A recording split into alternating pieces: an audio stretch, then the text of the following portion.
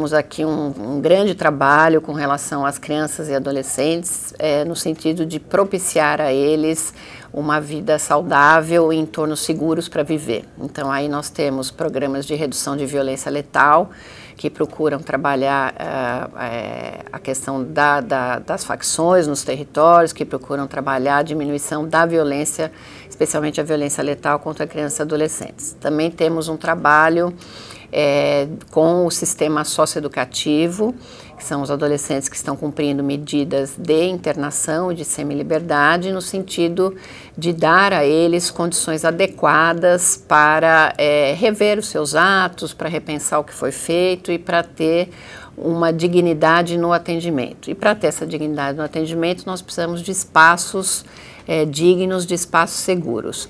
É, para isso, nós contamos com a, a, colaboração da UNOPS, que é nossa parceira, é, que, nos, é, que colabora na construção, no acompanhamento das unidades de internação, é, de modo que a gente consiga assegurar espaços de salas de aula, de educação profissional, é, de atendimento técnico, atendimento de saúde, para que os adolescentes possam ter um atendimento é, de acordo com o que preconiza o Estatuto da Criança e do Adolescente e o SINAS, o Sistema Nacional de Socioeducação.